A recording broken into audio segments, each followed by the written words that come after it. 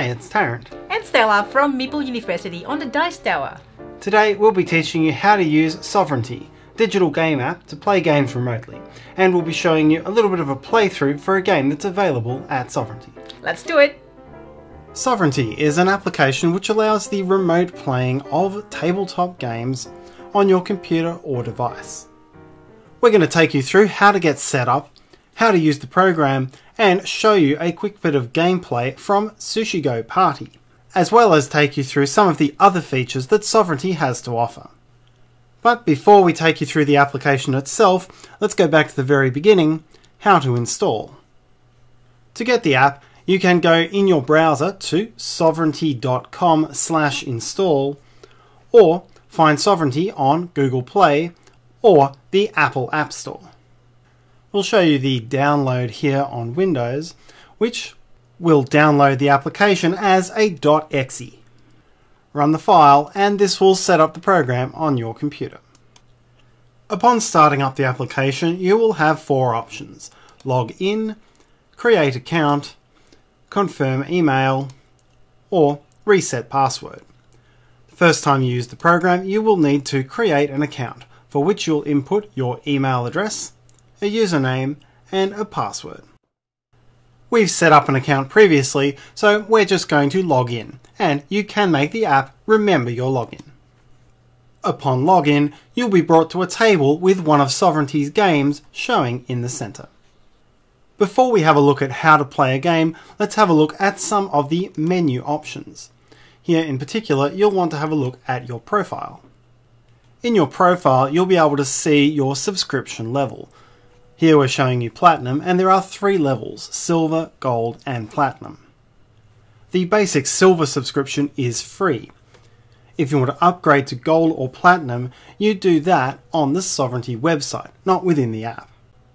To do this, head to sovranti.com slash upgrade, and you'll see all of the different plans and prices, and you can click on the Upgrade Now button. This will bring you to a subscription page where you can log in and upgrade your package. However, if you have a promo code to upgrade your subscription, then you'll do that inside the app at your profile in this Enter Promo Code box. We have a special promo code for viewers of this video, Celebrate21, which all viewers of this video can redeem until 28th of February 2022. Within your profile, you also have the option of changing your avatar. And you'll click on the avatars icon, and then you can scroll through all of the different avatar options available to you. Select one of your choosing, and then once you're happy, you can click on Select Avatar. Now it's time for one of the players to set up the table. At the moment, this is a table for Forbidden Desert, but you can change that by going into Table Options, which will tell you about the game, and then you can choose another game from all of those available. Here we're going to play a game of Sushi Go Party. The game may come with a manual or a tutorial, and any of those available will be shown in white. There's also some information available about the game down here. Once you're happy, click on Select Game. Some other table options include some visual choices that you can make.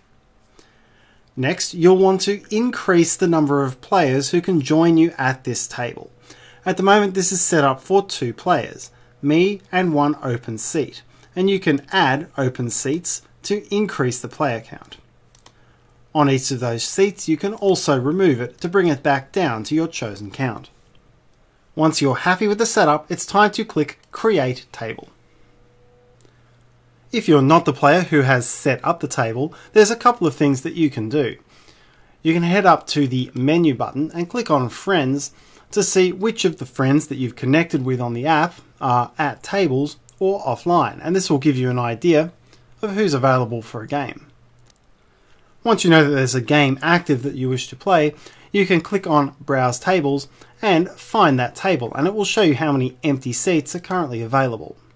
You can then click on Join Table and up in the top right corner you will see yourself and anyone else who is at that table and you'll be able to see any other players' avatars across the table from you. All players at the table should then click Ready It will briefly show not ready until all players have clicked it, but then once all players have, it will take you through the loading process into the game itself. Sovranti is a fully scripted app, meaning that you'll be playing the games exactly according to the rules. That is, the game won't allow you to do anything that is not within the rules. Here, we've reset the table so that I'm now the leader of the table, and as part of the setup for Sushi Go Party, it's necessary to choose some cards to play with. This option goes only to the leader of the table, and you can see here that I'll have the option to choose anything that's highlighted in green, but not anything that's highlighted in red. I'm simply going to randomize the setup and then click on confirm. Now that that's set up, I will be able to start the game. You can now see the game is shuffling and dealing for the initial startup of the game. So now let's have a look at some of the camera options that are available to you. You can think of this game as largely looking at the board through the eyes of your avatar. Here you can see the cards in your hand, but you're obscured from seeing the central board. You can use the scroll wheel of your mouse to zoom in or zoom out without moving your head. You can right click your mouse and then move around to point your head to the left or the right, and this gives you the view that your avatar would have by turning its neck. And you can use this scroll bar here to lean over the table and look at the center, like so. With these three, it gives you the full perspective of views that you would have as a player at this table. The app also gives you the option to see what your opponent sees. Click on your opponent and then click on camera view, like so. Now I can use those same features to see what my opponent sees, like so.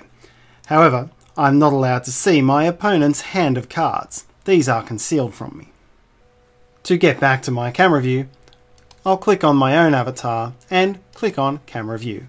And now I'm back where I was. Other camera options available include the camera button, which will remove or bring back the camera slide. You can also take a closer look at the components by clicking on the inspect function. We're currently open to the inspect, and then if you click on any component, it will bring that up in close view. You can click left to right or next and previous to go to your next component to have a closer look. You can deselect to exit and to exit inspect mode entirely, click on the exit button. So now that we've shown you some of the basic controls, we're going to play a round of Sushi Go Party, and you can see how some of the mechanics work as we play. So I have Stella with me. Hello. Hello indeed. And we are going to play through this round. Okay, so you'll be able to see what I see, and Stella will be making choices over the other side of the table. And I'm actually playing as Tarrant. Yes, you're playing as my avatar and I'm playing as yours. So if I just have a look at all of the cards that I've got and see where I'm going to get the most points, I think I'm going to start with this one.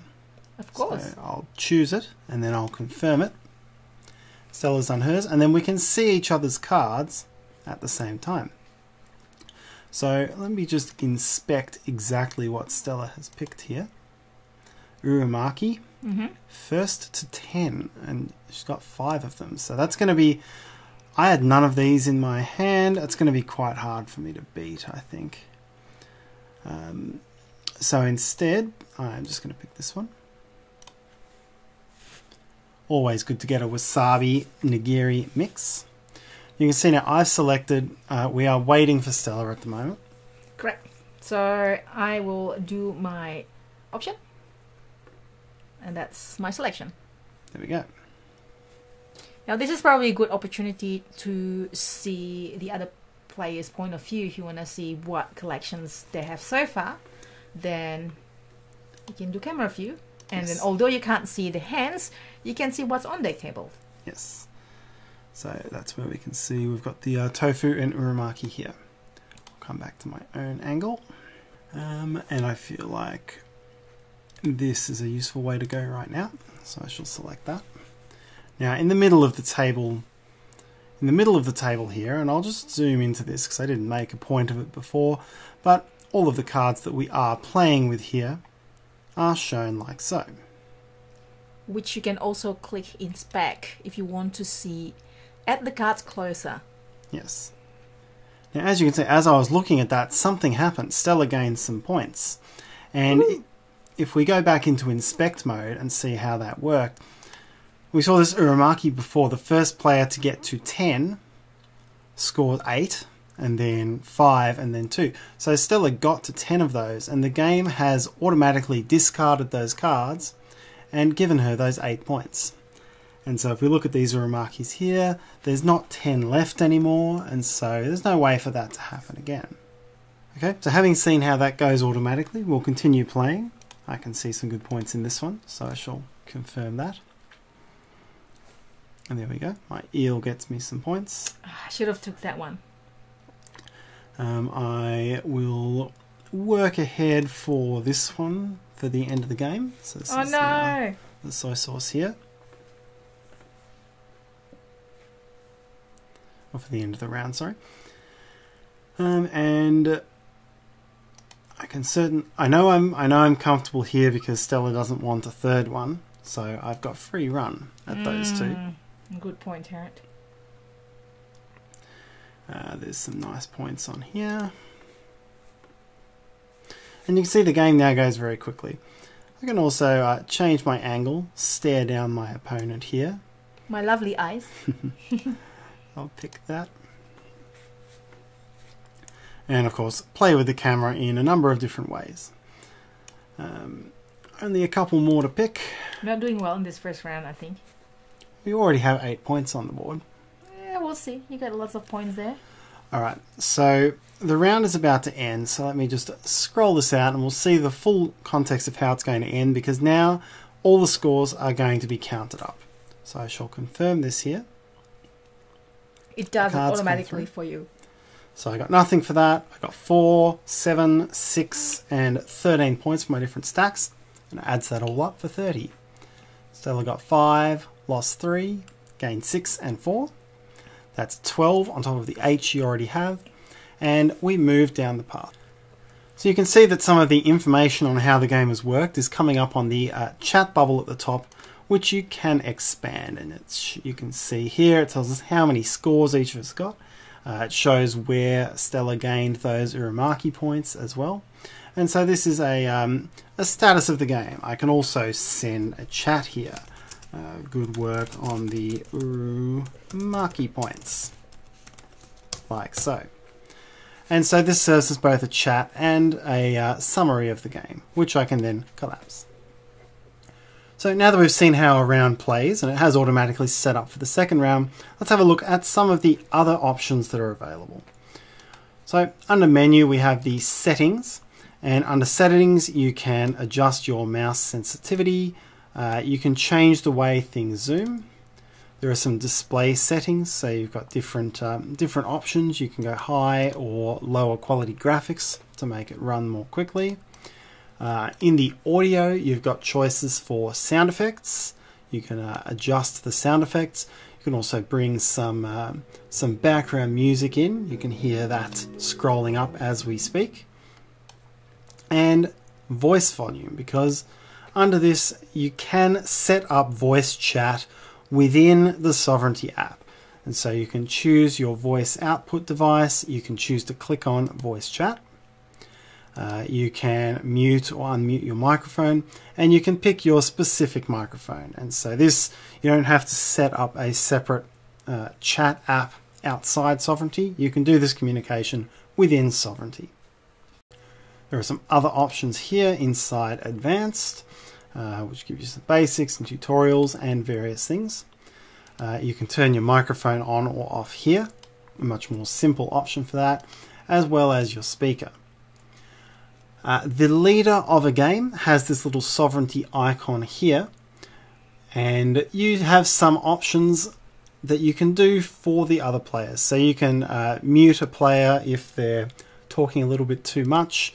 You can kick a player out of the game if someone perhaps has come into your game that you uh, weren't expecting.